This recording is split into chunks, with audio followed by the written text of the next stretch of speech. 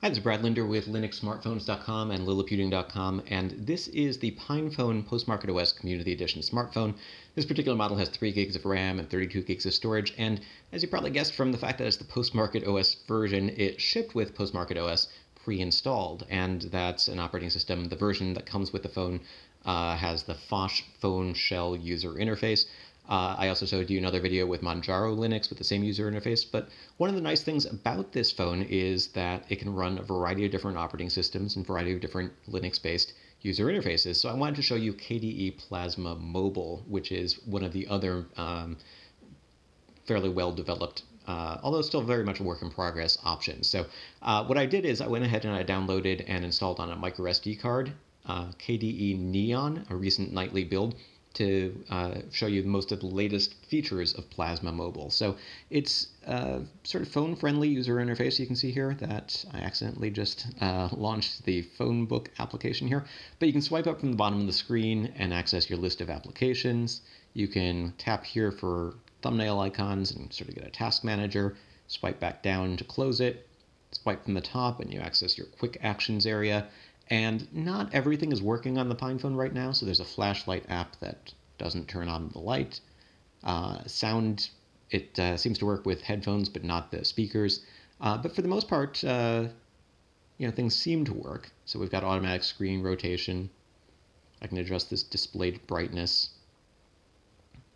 Uh, if I tap that screenshot button, I found that it's a pretty surefire way to make everything crash, so I'm not going to do that right now. But I will show you uh, the Angelfish web browser, which, like a lot of applications that I've tried, takes a sort of long time to load, but then once it's up and running, runs reasonably well, and uh, gives an example of how you would use Plasma Mobile.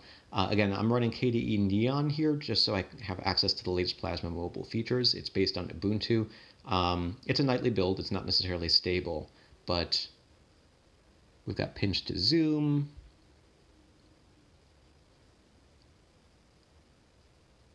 I can navigate reasonably well and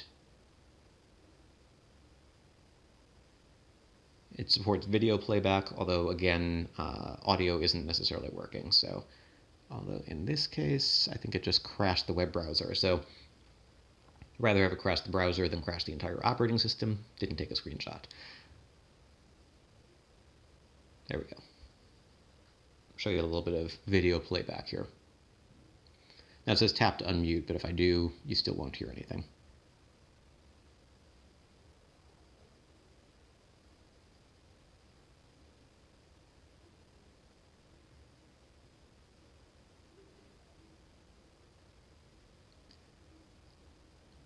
Now you can see that sometimes the user interface gets a little wonky. So for instance here, you know, we've got a nice sort of phone-friendly version of the playback settings, but then if I tap the menu here and say I want to play 720p, it goes into something a little less sort of mobile friendly. Uh, it also tends to drop a, little, a, few more frames if I switch to 720p, but I can't necessarily, I can't really tell if that's uh, internet speed or browser not keeping up or what, but 480p seems to work reasonably well.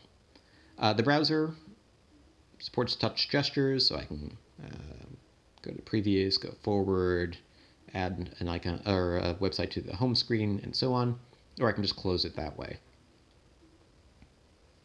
Swipe up from the bottom, show you that this is indeed a uh, Linux-based operating system because we've got a terminal here.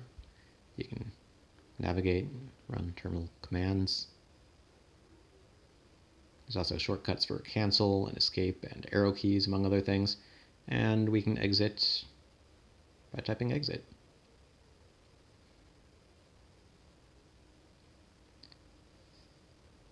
Weather application, which is one of the default apps.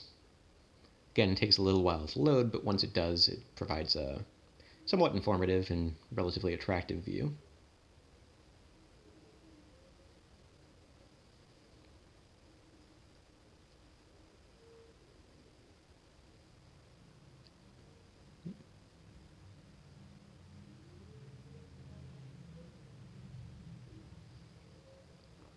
And then this uh, item mark discover is sort of your package manager slash app store slash update manager.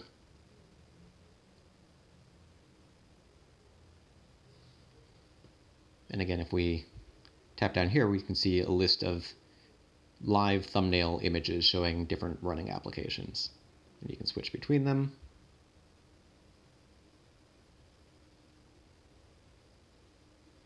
From here, I can get a list of applications, I can search for available applications, or I could install updates. So we have access to all sorts of different applications that are available for KDE Neon. Some of them aren't necessarily mobile friendly.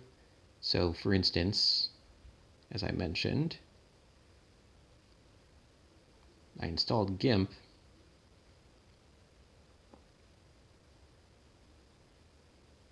but what it looks like on a mobile device is uh, practically unusable. So um, you might have to do a little bit of hunting and searching to find applications that are going to work well on a screen this size. Uh, this particular software that I'm trying, KDE Neon, the nightly build with Plasma Mobile, does not support convergence, so uh, plugging in an external monitor just doesn't seem to work, but it's possible that other, you know, in the future you might be able to uh, use this with an external display, in which case an application like GIMP might come in handy. Uh, and I think it might have just crashed the operating system. So, nope, there we go. Just turned off the screen from inactivity.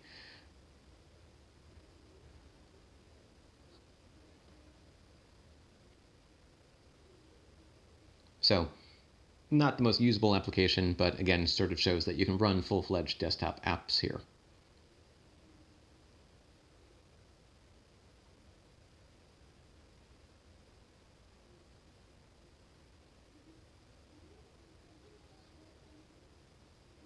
And let's try a screenshot. Oh, there we go. So this is Brad Linder with Liliputing and LinuxSmartphones.com. You can check out uh, the websites for more information about this, for links to uh, download KDE Neon uh, Mobile or Plasma Mobile, I'll also in the description for this video. And uh, stay tuned for more information about the PinePhone and other Linux smartphones.